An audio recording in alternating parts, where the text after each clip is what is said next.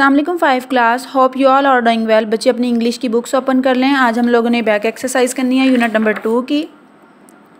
बच्चे page number अपनी books का थर्टीन ओपन कर लें. सबसे पहले जो है tick the best answer for each question बच्चे, इनके आंसर्स आपको नोट्स पे गिवन है, ठीक है? उसके अलावा हम पढ़ते हैं at the beginning of the story why did the woodcutter walk slowly through the forest ठीक है?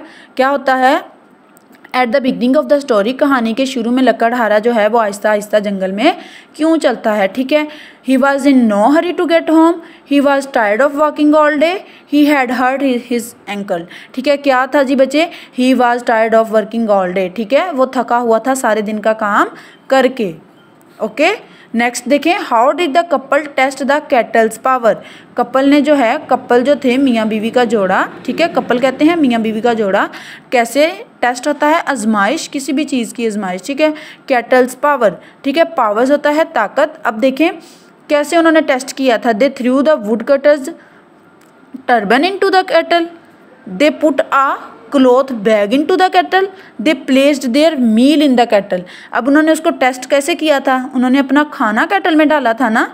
They placed their meal in the kettle next one देखें what did the woodcutter hope to buy with his riches ठीक है what did अब लकड़हारे की hope क्या होता है? उम्मीद करना टू बाय खरीदना विद हिज रिचेज अब देखें a new house a new horse new axe जब बच्चे, आपने, हमने स्टोरी पढ़ी थी कैटल वाली, उनका खाना डबल हो गया, ठीक है उन्होंने अब उसने क्या विशेष थी उसकी? कि जब वो अमीर हो जाएगा तो उसने क्या उम्मीद की कि क्या खरीदेगा? A new house a new horse a new axe क्या था? अ न्यू हाउस ठीक है? उसके बाद नेक्स्ट देखें why did the woodcutter drop his wife in the kettle अब वुड कटर जो लकड़हारा है, उसने अपनी बीवी को कैटल में क्यों फेंका?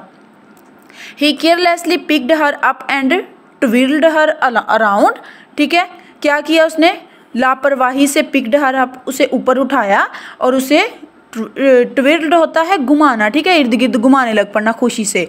ही वॉन्ट अब नेक्स्ट देखें he wanted to see if the kettle could double people वो देखना चाहता था कि क्या कैटल लोगों को भी डबल कर देती है। He hoped she could get his axe from him ठीक है? अब क्या था कि उसने जो है लापरवाही से अपनी बीवी को उठाया और घुमाना शुरू कर दिया था, ठीक है? नेक्स्ट आ जाए बच्चे पेज नंबर फोर्टीन पे आ जाएँ।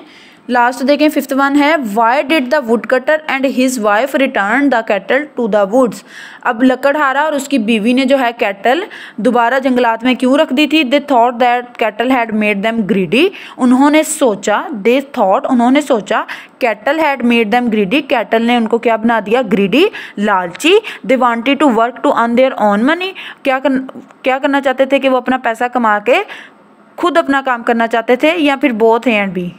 बोथ एंड भी, ठीक है? उनको क्या हो गया था? लालच भी हो गया था और फिर उन्होंने उसे वापस रख दिया कैटल को और वो अपने पैसे खुद अर्न करना चाहते थे। उसके बाद बच्चे नेक्स्ट एक्सरसाइज पे आ जाएँ। Match the word in column A with its meaning in column B ये वर्ड्स गिवन है, ठीक है? आगे उनके इंग्लिश मीनिंग्स हैं, उनको मैच करना है, ठीक है बच्चे?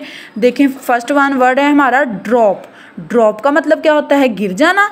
Shiny yellow metal no food eaten at one time no make somebody surprise no ठीक है? फॉल फॉल का मतलब भी गिरना होता है ड्रॉप का मीन भी गिरना होता है। फॉल बाय एक्सीडेंट उसके बाद देखिए नेक्स्ट वर्ड है हमारा अमेज्ड अमेज्ड का मतलब क्या होता है? ठीक है? बाज़ दफ़ा हम कोई सरप्राइज़ हो जाते हैं, हम कहते हैं ना अमेज्ड ठीक है? अमेज्ड का मतलब होता है हैरान कर देना। अब यहाँ पे हैरान कर सेकंड मीनिंग क्या होगा? Amazed make some body surprise ठीक है? सम बॉडी सरप्राइज़ उसके बाद देखिए नेक्स्ट वर्ड है हमारा सपर सपर क्या होता है बच्चे? सपर खाने को ही कहते हैं। ठीक है? और सपर क्या होता है?